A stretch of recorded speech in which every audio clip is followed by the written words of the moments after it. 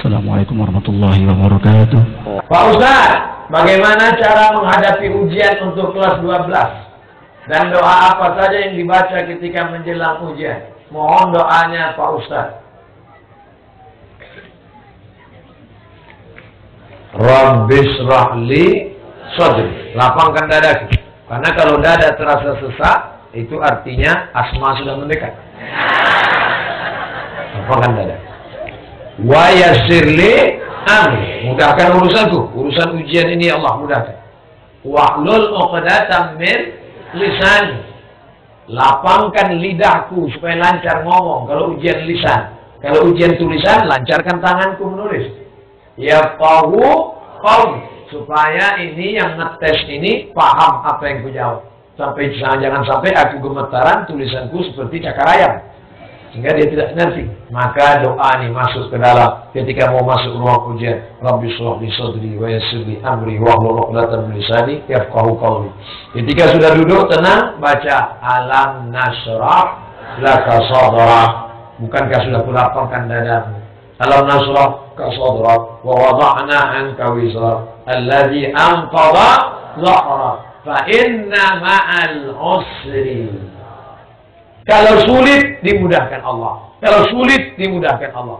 Saya udah baca, kenapa tetap sulit Pak Ustaz? Nggak belajar. Jangan nanti habis malamnya marah. Pas bangun pagi langsung alam nasrah Ah Ustaz Somad pembohong. Udah baca kok nggak bisa. Kamu nggak belajar? Enggak.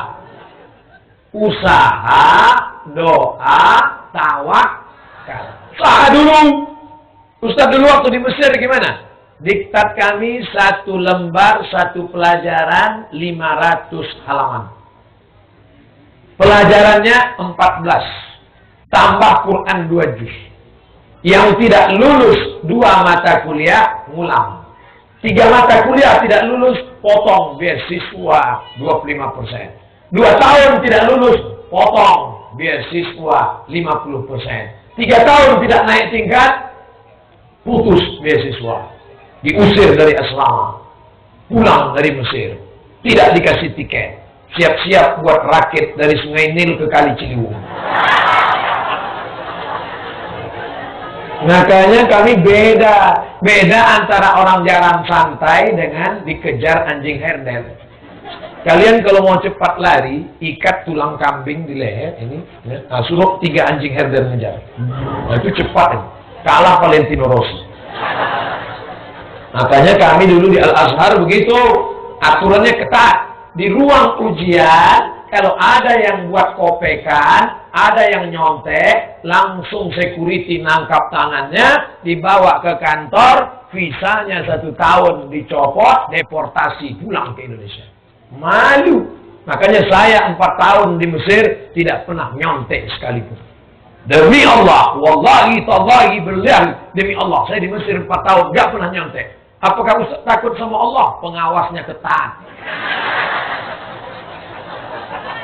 Nah, jadi gimana Ustaz belajar dulu? Diktat 500 halaman, 300, 400, 500. Pertama, baca, buka kamus. Karena kita bukan orang Arab. Kamus di kanan, diktat di kiri. Buka, buka, buka, buka, buka, buka. Baca kedua, kasih garis. Penting, gak penting, kurang penting. Penting, gak penting, kurang penting. Penting, gak penting, kurang penting. Baca ketiga, hafal. Pertama, baca, buka kamus. Kedua, garis. Penting, gak penting. Ketiga, hafal. Setelah itu, masuk ruang ujian. Lulus semua, gak lulus satu.